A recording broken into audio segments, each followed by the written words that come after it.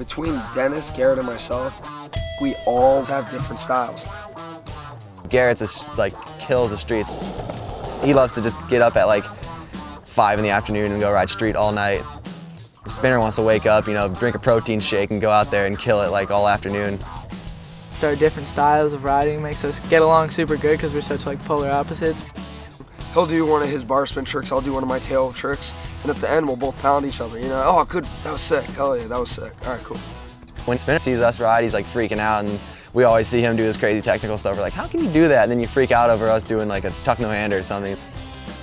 Dennis is the most adaptive rider I've ever seen in my life. He could show up to any skate park, street spot, dirt spot in the world and look like he's been riding there for over a year.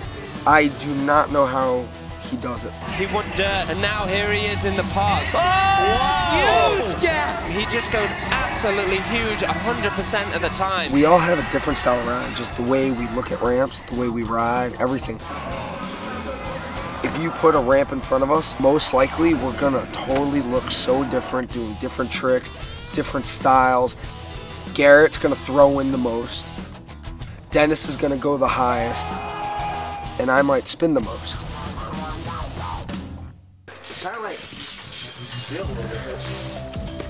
Not many people have full ramp setups or trails in their backyard. Like when you're a little kid, like growing up, like I wish I had ramps, and I'm lucky enough to have one, so it's, it's an honor, it's crazy. I've only rode Dennis Enarson's backyard once. It's fast, it's got a nice spine. He's got a super cool mom and dad, and a bunch of dogs. Super laid back situation. This is uh, the slant wall. It's one of my favorite things. You can blast out of it. It's usually where I start. Like, I'll either drop in from right here, right there, just cruise down. And hit the box jump. It's just as good backwards as forwards. Here's a nine foot quarter pipe. You blast this and then you cruise down this way. You can usually just fly over that thing. We got the hip, like it's 90 degree hip, straight into a perfect street spine. Then the vert wall, it's brand new. You can go back over the spine, we got the wall ride slash sub box. Come back over the spine. Another like 45 degree hip into a left hip. And then back to the nine foot.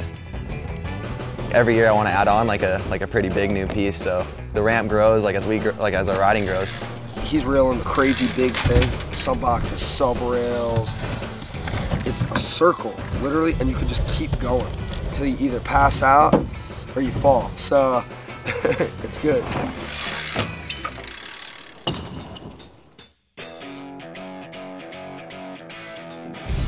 Garrett's backyard setup's real tight and gnarly and like it looks so much fun. You can see his style of riding, like where it comes from just because of his ramps are so crazy. Our ramps are a little beat up. They're a little janky. Uh, that's not a problem. I don't mind shady stuff. Keeps it interesting, keeps it fun. They got that nice sink pop sink in and pop out. Real good, it's tight. I never rode his backyard. The only time I went over it was pouring rain.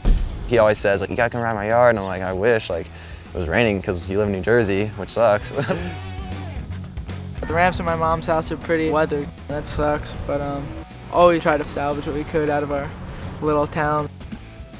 Having something that's your own is the best because you have exactly what you want. You don't have to deal with anyone, you're just doing your own thing. Always friends riding, always just have a little session. It's in my backyard.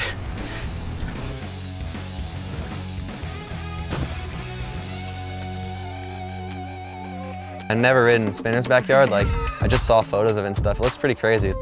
You look through his backyard, then you look through his indoor swimming pool, then into his crazy dew tour course. So he's got to be psyched with what he has, you know.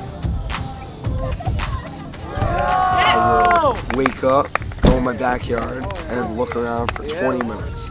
It's pretty much a dream. You know, this is mine. From every screw put into this ramp to the foam blocks. You know, I do whatever I want. When's the sesh? When I tell you.